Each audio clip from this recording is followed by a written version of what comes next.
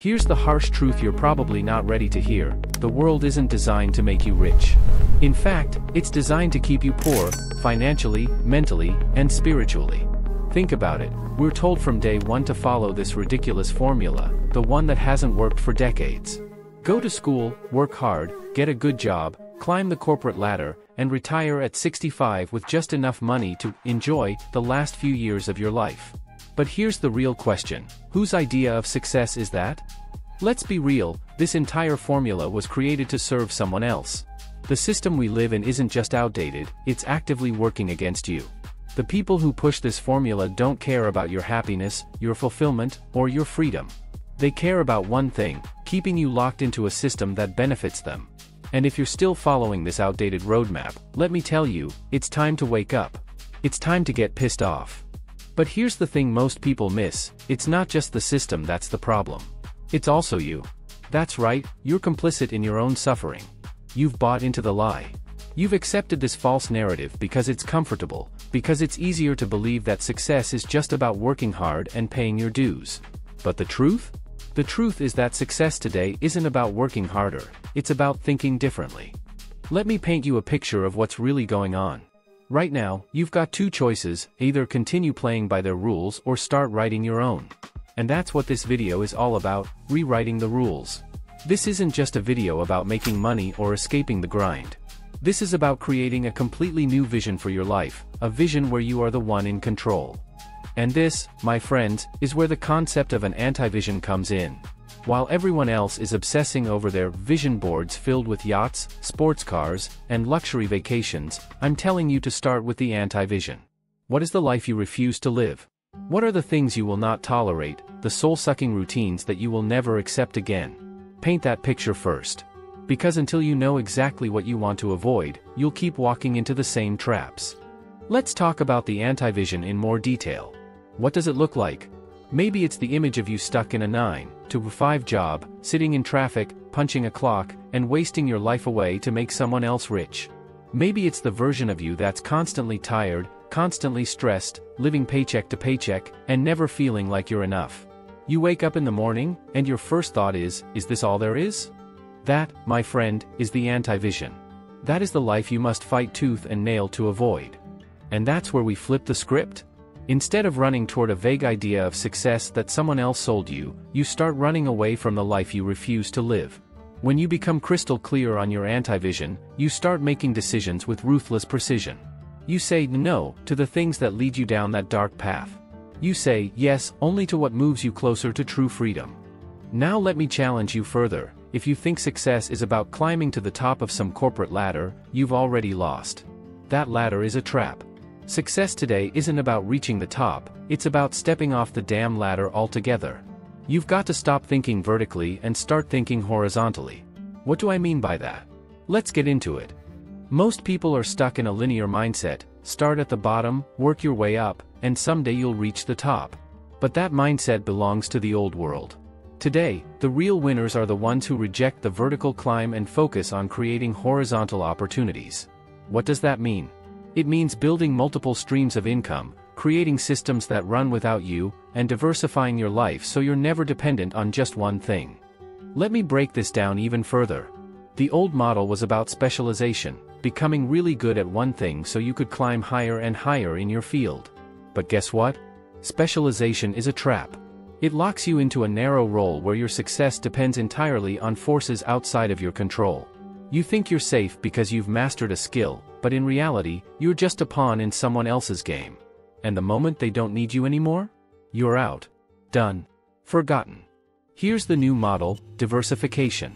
It's about becoming a generalist, not a specialist.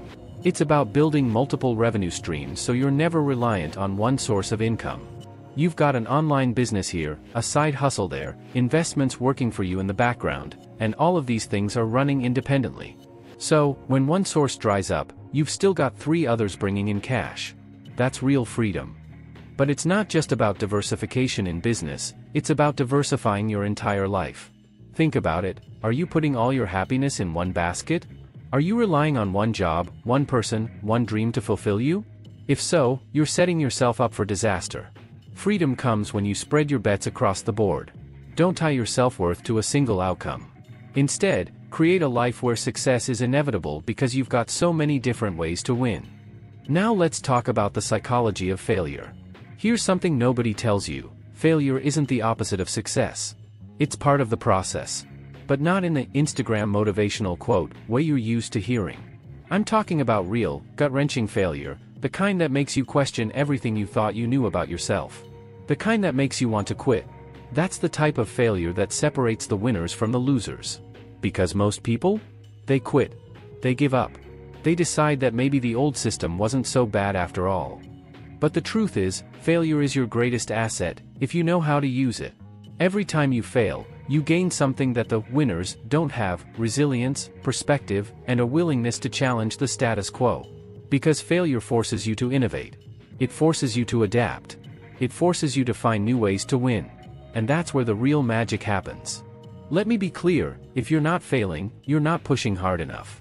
Playing it safe is the most dangerous thing you can do because it guarantees mediocrity. You want to avoid failure? Fine, but you're also avoiding growth. You're avoiding success. The only way to truly win in this new world is to embrace failure, learn from it, and let it fuel your next move. But here's the catch, you can't just survive failure. You have to leverage it. Here's what I mean, every failure is a lesson, but more importantly, every failure is a tool. It's a weapon you can use to cut through the bullshit and get to what really matters. When you fail, you're forced to strip away all the fluff, all the nonsense, and focus on what's essential. Failure teaches you to think differently. It forces you to innovate. It pushes you to build systems that are stronger, smarter, and more resilient. So, here's your new mantra, fail faster, fail smarter, fail forward. Don't just aim for success, aim to fail in ways that teach you something new, that open up new possibilities, that force you to grow beyond your comfort zone. That's how you become unstoppable. Now let's switch gears and talk about something even more critical, how the concept of value is shifting in the modern economy. In the old world, value was tied to tangible assets, land, machinery, raw materials. But in today's world, value is all about attention and information. If you know how to capture attention and package information in a way that solves a problem, you can write your own ticket. This is the new currency, and if you're not playing in this space, you're falling behind. Let's break it down. Attention is the most valuable asset in today's economy. Why? Because everyone is fighting for it. Companies, influencers, advertisers, they're all competing for a few seconds of your focus. And if you can learn to control that, if you can learn to capture and hold attention, you can create massive opportunities for yourself. This is where the information business comes in. An information-based business is about more than just selling knowledge, it's about creating authority. It's about positioning yourself as a leader in your space, someone who people trust and turn to for answers. But here's the catch, you don't have to be the expert. You just have to be the curator. You just have to organize and present the information in a way that adds value. And once you've done that, you can scale infinitely because the internet doesn't have borders. Now, let's dig deeper into product-based businesses. Sure, physical products are cool. But digital products? They're the real game changers. Why? Because once you create a digital product, it can be sold over and over again without any additional cost. You're not dealing with inventory, shipping, or supply chain issues. You create it once, and it becomes an automated income stream. That's the beauty of leveraging digital assets. But there's more to it. The real secret to success isn't just creating a product or a service, it's creating a system. A system that runs without you, that scales without you, and that keeps growing even when you're not around. That's the ultimate freedom.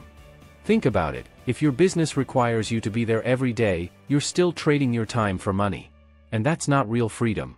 Real freedom comes when you've built systems that generate income automatically, that keep working even when you're not. And that's where AI comes in. AI isn't just a buzzword, it's the future of business. If you're not leveraging AI, you're already behind. AI can automate your processes, optimize your systems, and free up your time to focus on what really matters. And the best part? AI doesn't sleep. It doesn't take breaks. It doesn't ask for a raise. It just works. So here's the bottom line, if you want to succeed in the modern world, you need to stop thinking like an employee and start thinking like a machine. You need to create systems that work for you, that generate income on autopilot, and that allow you to scale infinitely. Success today isn't about working harder. It's about working smarter. It's about leveraging technology, embracing failure, and creating a vision for your life that breaks free from the old rules. The old world is dead, and the new world is here. But it's only waiting for those bold enough to embrace it. Now, the question is, what are you going to do about it? Are you going to keep playing by their rules, following their outdated formulas, and waiting for permission to succeed? Or are you going to take control of your own destiny, write your own rules, and build a life that's truly yours? The choice is yours. The clock is ticking. And the world isn't waiting.